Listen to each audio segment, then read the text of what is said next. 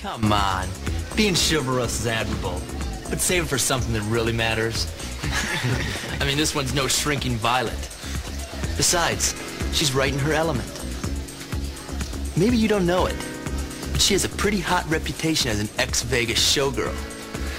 She's only doing what she does best. Nobody forced her on that bar.